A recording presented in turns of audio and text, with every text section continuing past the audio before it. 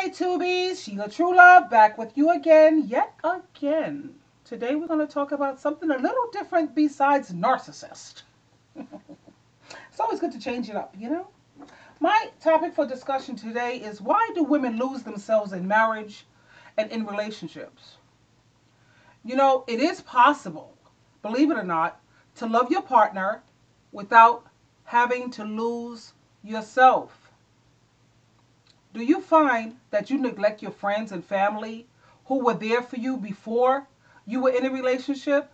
How many women do you know who will break up their plans, they'll stop spending time with their family members, or they'll give up things that they enjoy every time they're in a relationship?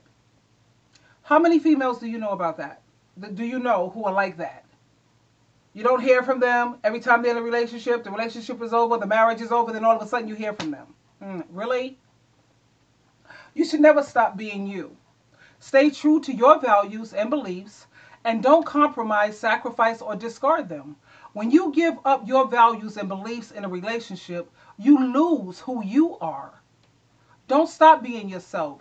That means cut out all the bogus, all the fake and phony behavior because when you start acting like that, you have lost yourself. It's official.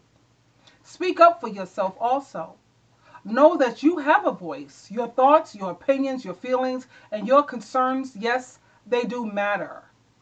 Don't keep silent and agree with ideas or statements when you know that you disagree. Express yourself. Stand up and speak up for what you you believe in.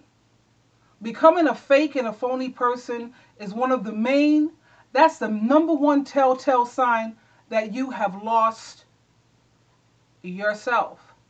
Women who make men the center of their life, they usually feel unfulfilled and dependent because they're not being true to who they are. They're not true to themselves.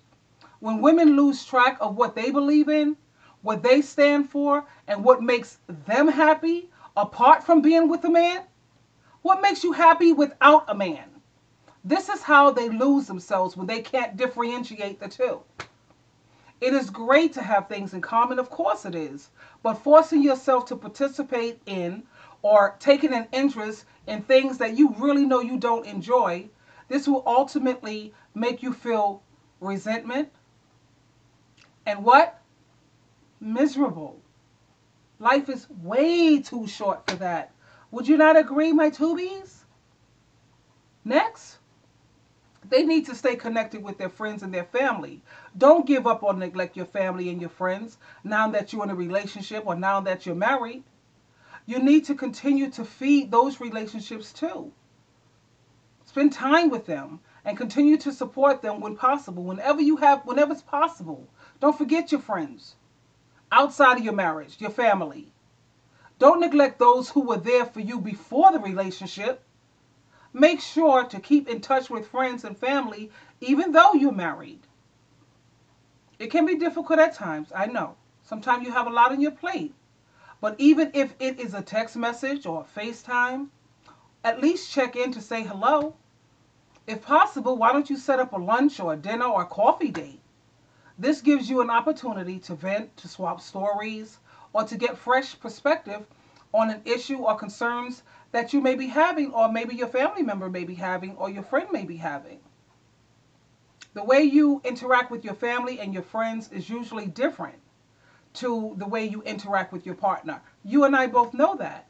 Also, when you keep in touch with family and friends that you have known, again, before you begin this relationship, you'll be reminded of who you are as an individual. Do you remember who you are outside of a relationship without a man in your life? Don't lose track of who you are. If you're seeing a lot of your partner and very little of your friends and your family, it may be time for you to reprioritize things. While it's natural to desire one on one time in your relationship with your partner, especially when it's early on, when it's new, Maintaining a sense of self requires making time for other relationships also. This is a great way to maintain your sense of self. What about your hobbies and your interests? What about those? Hmm? Have you neglected your hobbies and your interests as soon as you enter a relationship or as soon as you see that you're married? These things are the foundation to who you are as a person. For example, let's just say that you're a person who you're very uh, artistic, okay? And you love expressing yourself creative, cr- creatively. But now that you are in a relationship, you have neglected these things. When you neglect this part, you lose a part of who you are, and you should not do that. I never lost part of, uh, no. I love writing. I love uh, life coaching. I love um, helping people. I love reading. I love research. And I always did that.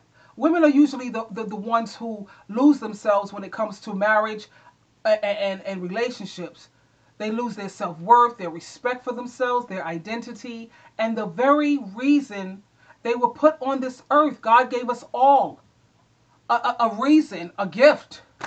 Most women write off their lives, including their alone time. What about your alone time? What about your career? What about your social life? What about your family members? What about your friends? What about your entrepreneurial dreams? If you dreamed of being an entrepreneur, and whatever else that you used to love before the relationship, you know, it's good. It is good. And you're complete when you have a life that you can call your own. a good relationship, it should act as a supplement to your already fulfilling life. It's an add on, and it's a pleasant, good to have extra. It shouldn't be something that swallows swallows swallows you up. It swallows who you are. When you notice that you are becoming this plastic, fake, and phony person and you are no longer real, sorry to say, but you've lost yourself. You've got to be true to yourself, darling. You have your married life, and then you have your life, your own life. And we know that man and woman become one and all the above. Yes, still, you need to have your own, honey. Think about the person you were before you was in this relationship. How you used to go out, how you used to have hobbies, and you used to have your own interest. Stay that way. And please, for the love of God, do not neglect your, your other family members. What about your other friends that you have on the outside? They miss you too. So anyway, in closing, I hope you don't lose yourself this you always have a choice. You could choose whether you choose to lose yourself or you could choose not to. The choice is always. Let me reiterate that it's always, always yours. Until next time, this is Sheila Truelove, and we'll get together again as you know. I love you. Bye for now.